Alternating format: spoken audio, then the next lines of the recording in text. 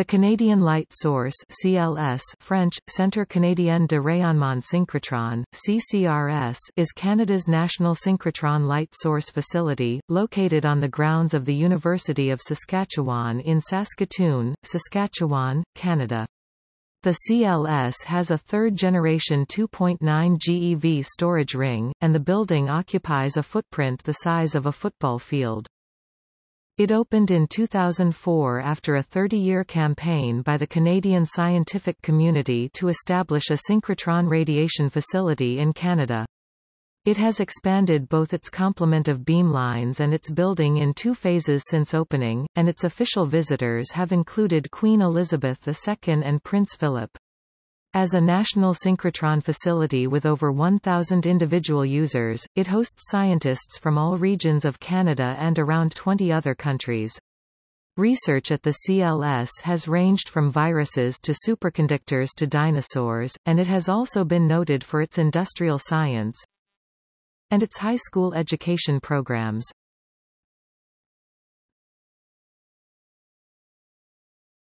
Topic. History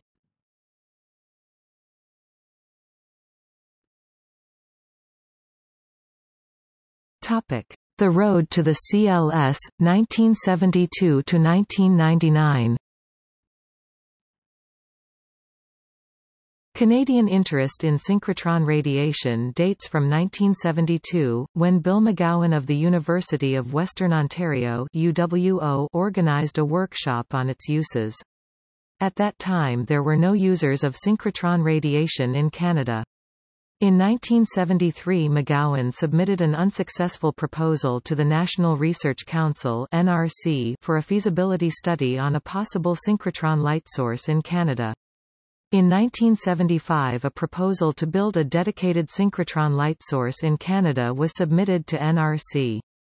This was also unsuccessful. In 1977 Mike Bancroft, also of UWO, submitted a proposal to NRC to build a Canadian beamline, as the Canadian Synchrotron Radiation Facility CSRF, at the existing Synchrotron Radiation Center at the University of Wisconsin-Madison, USA, and in 1978 newly created NSERC awarded capital funding. CSRF, owned and operated by NRC, grew from the initial beamline to a total of three by 1998. A further push towards a Canadian synchrotron light source started in 1990 with formation of the Canadian Institute for Synchrotron Radiation CISR, initiated by Bruce Bigham of AECL. AECL and TRIUMF showed interest in designing the ring, but the Saskatchewan Accelerator Laboratory at the University of Saskatchewan became prominent in the design. In 1991 CISR submitted a proposal to NSERC for a final design study. This was turned down, but in later years, under President Peter Morand, NSERC became more supportive. In 1994 NSERC committee recommended a Canadian synchrotron light source and a further NSERC committee was formed to select between two bids to host such a facility, from the universities of Saskatchewan and Western Ontario. In 1996 this committee recommended that the Canadian light source be built in Saskatchewan. With NSERC unable to supply the required funds it was not clear where funding would come from. In 1997 the Canada Foundation for Innovation CFI was created to fund large scientific projects, possibly to provide a mechanism to fund the CLS.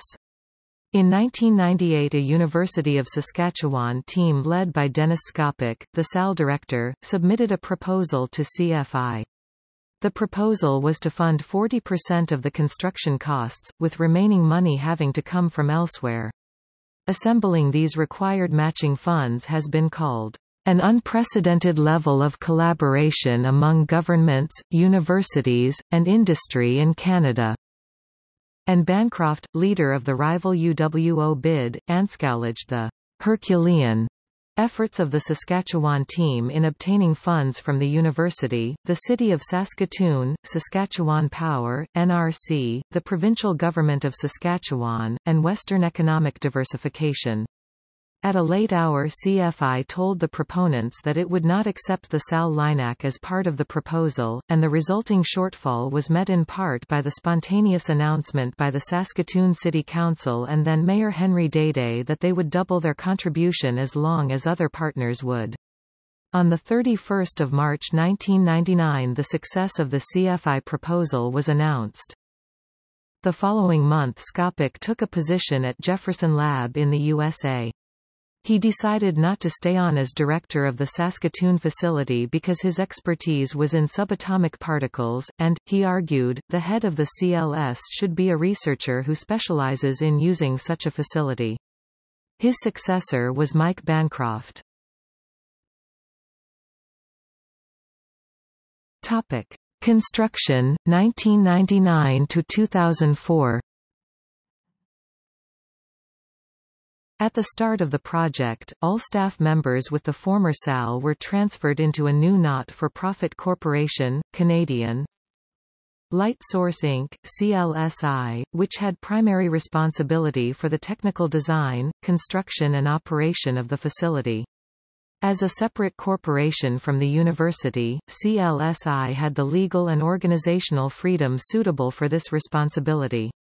UMA, an experienced engineering firm, now part of AECOM, with extensive experience managing large technical and civil construction projects, was hired as project managers. The new building, attached to the existing SAL building, and measuring 84 meters by 83 meters in area with a maximum height of 23 meters, was completed in early 2001. The footprint of the CLS has been described as equivalent to that of a football field. Bancroft's appointment ended in October 2001 and he returned to UWO, with Mark de Jong appointed acting director. Bancroft remained as acting scientific director until 2004. In 2002, the CLS project was awarded the National Award for Exceptional Engineering Achievement by the Canadian Council of Professional Engineers. The SAL LINAC was refurbished and placed back into service in 2002 while the booster and storage rings were still under construction. First turn was achieved in the booster ring in July 2002 with full booster commissioning completed by September 2002. New director Bill Tomlinson, an expert in synchrotron medical imaging, arrived in November 2002. He was recruited from the European Synchrotron Radiation Facility where he had been the head of the Medical Research Group. The 1991 proposal to NSERC envisioned a 1.5 GeV storage ring, since at this time the interest of the user community was mainly in the soft X-ray range. The ring was a racetrack layout of four to six bend regions surrounding straights with extra quadrupoles to allow for variable functions in the straights. The design contemplated the use of superconducting bends in some locations to boost the photon energies produced. The drawback of this design was the limited number of straight sections. In 1994 a more conventional machine with eight straight sections was proposed, again with 1.5 GeV energy. At this time more users of hard X-rays were interested and it was felt that both the energy and number of straight sections were too low. By the time funding was secured in 1999 the design had changed to 2.9 GeV, with longer straight sections to enable two insertion devices per straight, delivering beam to two independent beamlines. Construction of the storage ring was completed in August 2003 and commissioning began the following month. Although beam could be stored, in March 2004 a large obstruction was found across the center of the chamber. Commissioning proceeded quickly after this was removed, and by June 2004 currents of 100 mA could be achieved. On the 22nd of October 2004 the CLS officially opened, with an opening ceremony attended by federal and provincial dignitaries, including then Federal Minister of Finance Ralph Goodale and then Saskatchewan Premier Lorne Calvert, university presidents and leading scientists. October 2004 was declared Synchrotron Month by the City of Saskatoon and the Saskatchewan government. Peter Mansbridge broadcast the CBC's nightly newscast The National from the top of the storage ring the day before the official opening. In Parliament local MP Lynne Yelich said there were many challenges to overcome, but thanks to the vision, dedication and persistence of its supporters, the Canadian light source synchrotron is open for business in Saskatoon.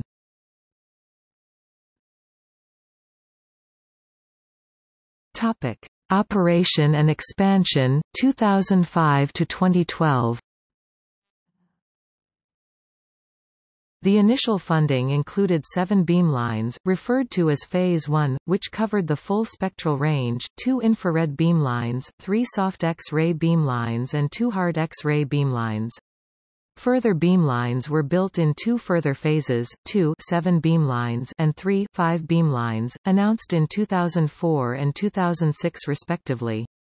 Most of these were funded through applications to CFI by individual universities including UWO, the University of British Columbia and Guelph University in March 2005 leading infrared researcher Tom Ellis joined the CLS from Acadia University as Director of Research. He had previously spent 16 years at the Université de Montréal. The first external user was hosted in 2005, and the first research papers with results from the CLS were published in March 2006 one from the University of Saskatchewan on peptides and the other from the University of Western Ontario on materials for organic light-emitting diodes.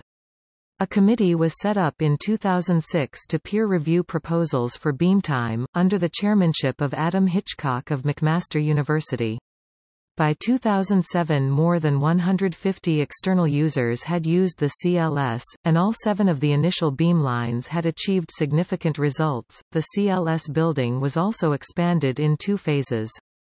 A glass and steel expansion was completed in 2007 to house the Phase 2 medical imaging beamline BMIT, and construction on the expansion needed to house the Phase 3 Brockhaus beamline started in July 2011 and is still ongoing as of July 2012. Bill Tomlinson retired in 2008, and in May of that year physics professor Josef Hormes of the University of Bonn, former director of the CAMD synchrotron at Louisiana State University was announced as the new director. Science fiction author Robert J. Sawyer was writer-in-residence for two months in 2009 in what he called a once-in-a-lifetime opportunity to hang out with working scientists. While there he wrote most of the novel, Wonder, which won the 2012 Prix Aurora Award for Best Novel. By the end of 2010 more than 1,000 individual researchers had used the facility, and the number of publications had passed 500. From 2009 to 2012 several key metrics doubled, including the number of users and the number of publications, with more than 190 papers published in 2011. More than 400 proposals were received for beam time in 2012, with approximately a 50% oversubscription rate averaged over the operational beamlines. By 2012 the user community spanned all regions of Canada and around 20 other countries. That year a high school group from La Loche, Saskatchewan became the first to use the purpose-built educational beamline IDEAS. Also in 2012 the CLS signed an agreement with the Advanced Photon Source Synchrotron in the USA to allow Canadian researchers access to their facilities.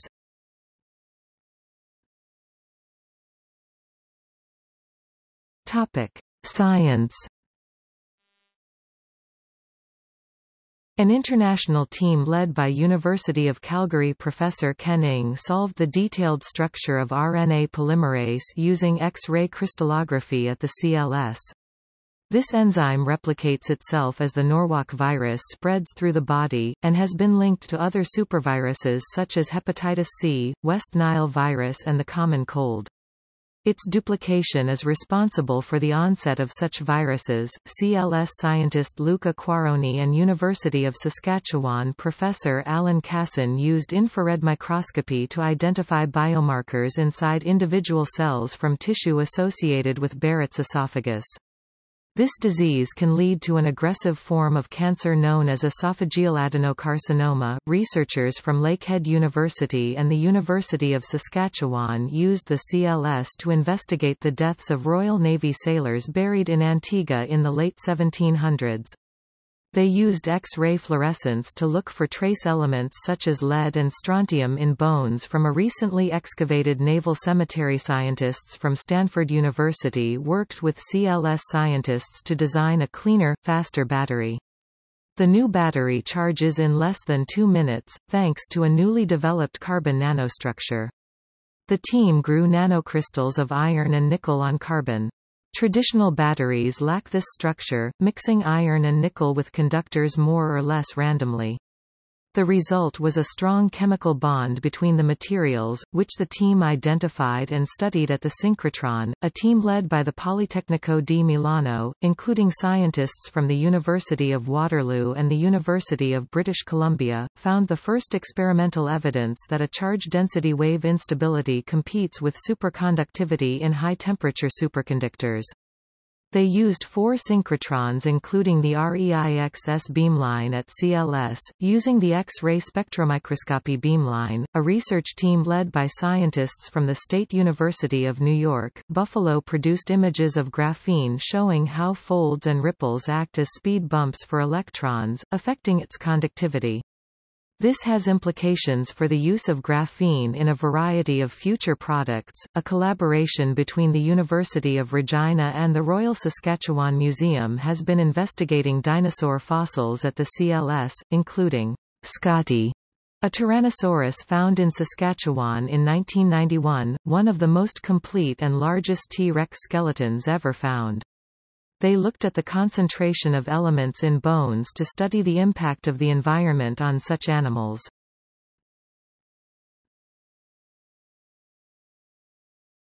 Topic: Industrial program and economic impact.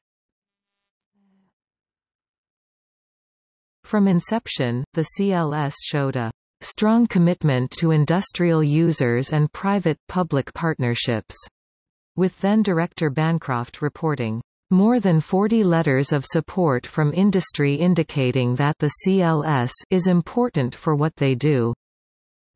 This commitment has been criticized, notably by University of Saskatchewan professor Howard Woodhouse, since only two private companies provided capital funding, with the rest coming from public funds, while up to 25% of beamline time at CLS is allocated to commercial use. The CLS has an industrial group, within the larger Experimental Facilities Division, with industrial liaison scientists who make synchrotron techniques available to a non-traditional user base who are not synchrotron experts. By 2007 more than 60 projects had been carried out, although in a speech in the same year, then CLS director Bill Tomlinson said that, "...one of the biggest challenges for the synchrotron is to get private users through the door. With less than 10% of time actually used by industry, in 1999 then Saskatoon Mayor Day stated that the CLS will add $122 million to Canada's GDP during construction and $12 million annually after that. An economic impact study of the two financial years 2009-10 and 10-11 showed the CLS had added $45 million per year to the Canadian GDP, or about $3 for every $1 of operating funding. The CLS has been cited as an example of the commercialization of university research endangering other areas of scholarship and research that is perceived to be of little immediate utility for generating private monetary wealth. The CLS itself has stated that the primary means of accessing the CLS is through a system of peer review, which ensures that the proposed science is of the highest quality and permits access to the facility to any interested researcher, regardless of regional, national, academic, industrial or governmental affiliation.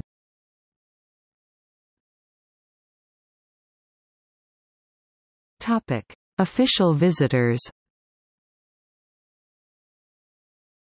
Then Prime Minister Jean Chrétien visited the CLS in November 2000 during an election campaign stop in Saskatoon. He gave a speech on the mezzanine level of the building following his tour of the facility, praising the project for helping to reverse the brain drain of scientists from Canada.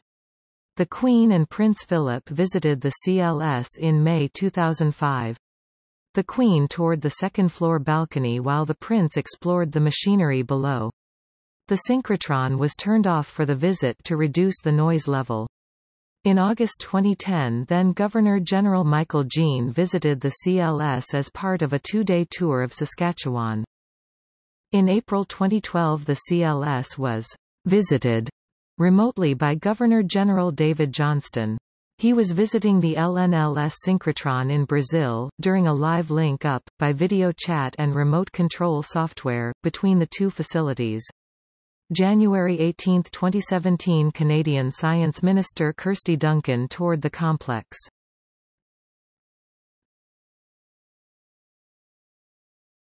Topic. Medical Isotope Project With the NRU reactor at the Chalk River Laboratories due to close in 2016, there was a need to find alternative sources of the medical isotope technetium-99 m, a mainstay of nuclear medicine.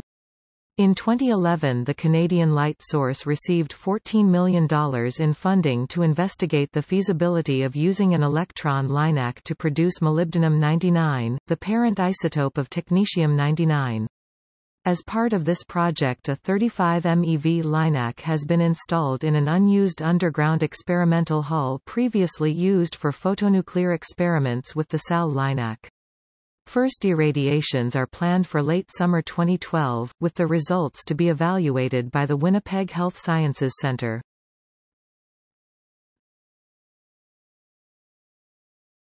Topic. Education program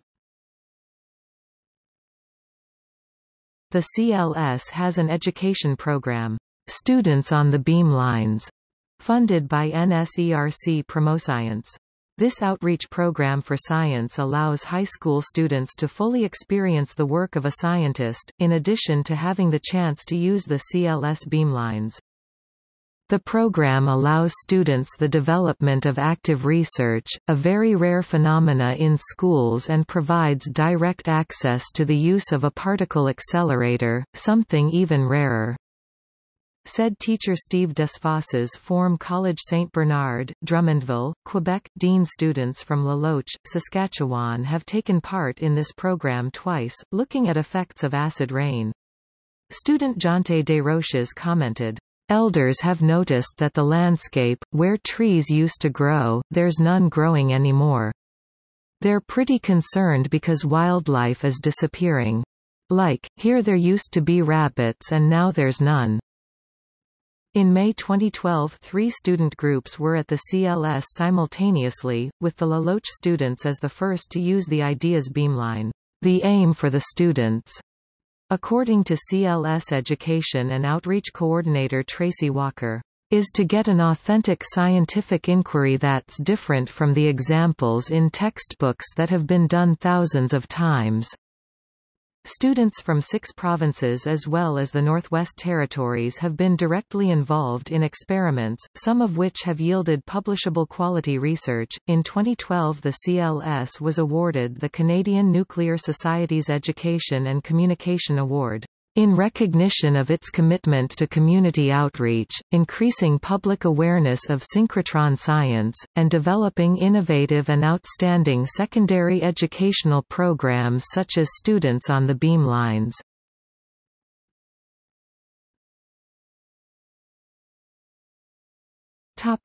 Technical description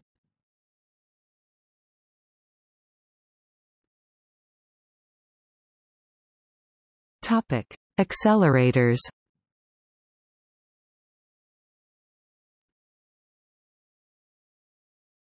Topic: Injection system.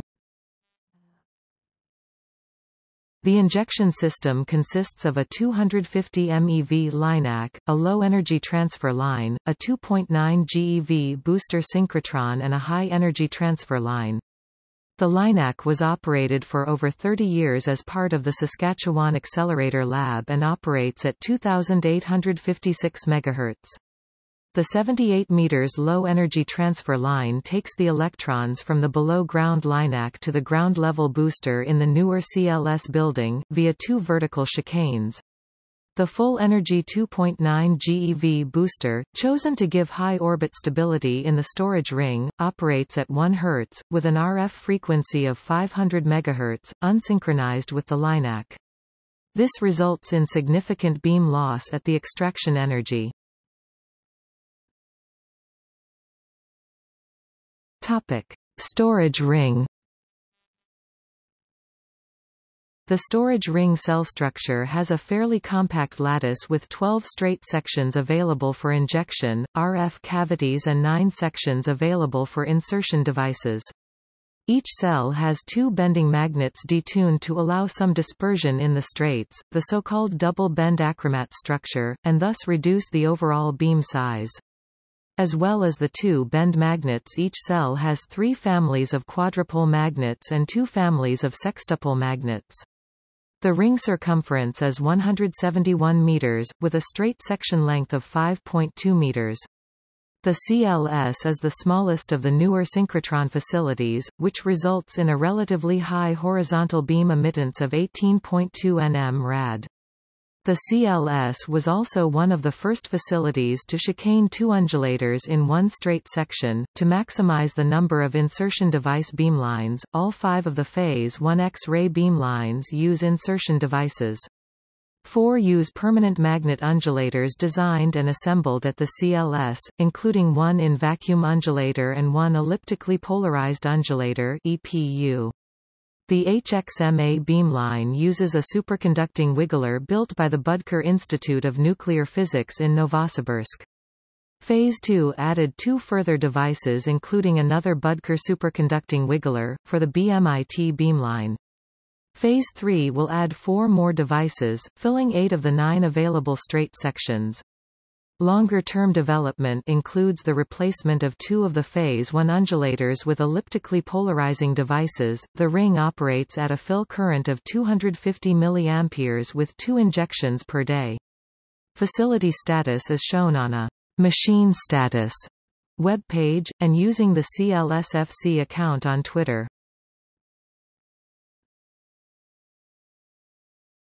Topic. Superconducting RF cavity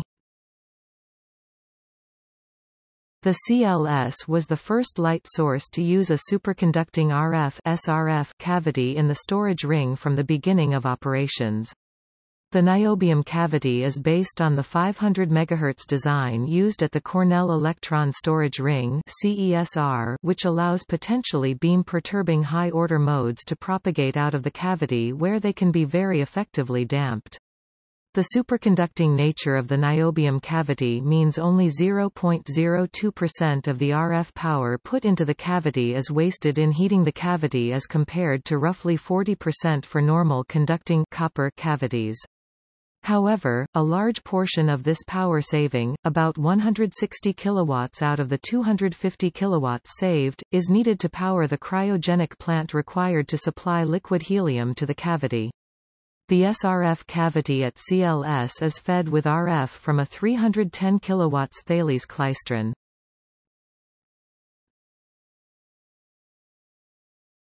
Topic: Beamlines.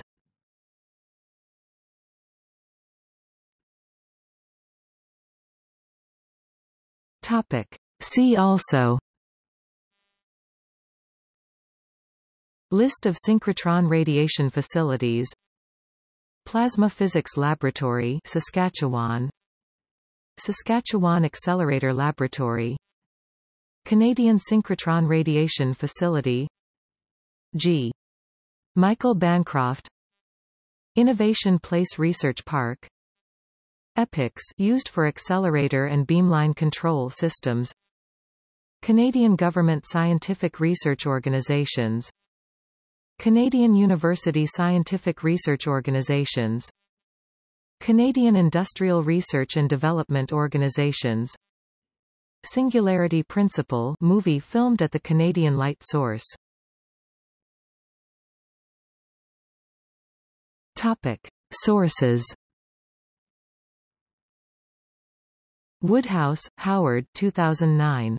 Selling Out, Academic Freedom and the Corporate Market. Montreal and Kingston, McGill Queen's University Press. ISBN 978 0 7735 35800